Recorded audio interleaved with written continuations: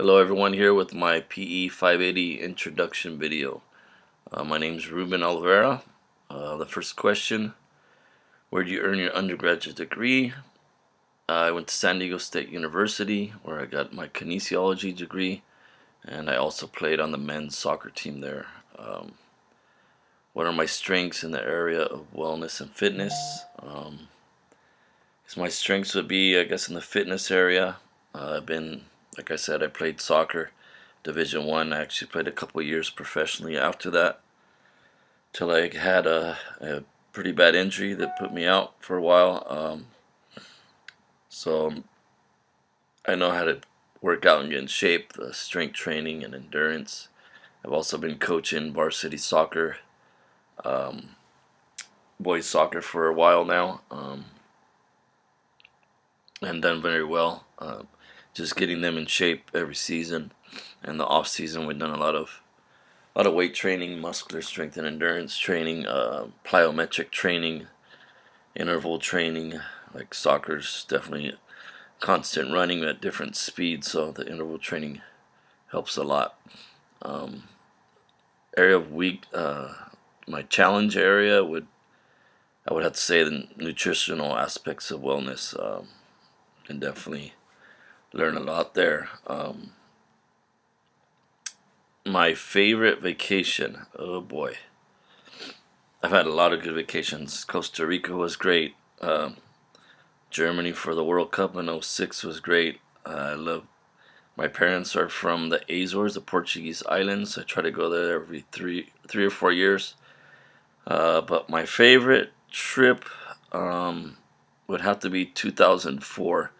Uh, went for the Euro Cup in Portugal, uh, Euro Soccer Cup in Portugal, uh, where they were the hosts and they made it to the final. Went on that trip with my brother and two of our best friends. Um, started off in Portugal and then went to Barcelona and then Ibiza and Rome, Venice, and then to Holland, and then back to Portugal for another couple weeks. We were there for six weeks, so that was an awesome experience. Uh, so I'd have to say that was probably the best trip. Uh, and then my three expectations I have for myself during the course. Well, I see that we're going to have to um, work out and get in shape, which is great. Couldn't have come at a better time. Um, I've actually haven't been working out much for the last couple years. I had a knee surgery.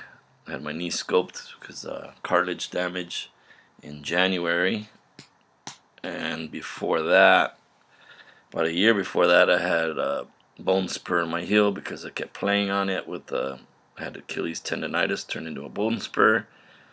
So it's been a couple years where, been off and on. Really, the only exercise I've been getting is basically some mountain biking and a little bit of weightlifting, but it's been pretty depressing when your doctor tells you you can't uh, play soccer anymore, any high impact sports. But I ended up getting a stem cell injection in my knee, which actually went pretty good. I went three weeks ago to my the doctor that did the injection, and he actually told me I can go back to regular activity, can play soccer and everything again, which is pretty incredible. But so I'm pretty motivated to start getting in shape and losing some weight, getting my legs back and strength back so that I can play again or at least be out there with my uh, high school players and kicking the ball around. So I really couldn't do that at all last season. Um, speaking of soccer, my soccer season is coming up, so another expectation is to um, keep up in my classwork. Um, hopefully, try to stay ahead. It's gonna be tough because uh, it's always tough when it's work and soccer season, but now I got classes on top of it. So I'm definitely going to have to uh, use my time management skills and try to keep up with the class. I'm sure I will, but never know because everything's pretty crazy during season. Um, my number three expectation basically to learn as much as I can about fitness and wellness. I think um, not only for to pass on, but just personally, um, and then to pass it on to my parents. My dad has some cardiovascular heart problems, so anything I can learn to pass on to him would help. Um, but I think that's about it. Uh, can't wait to watch all your videos and get to know you guys. Thanks.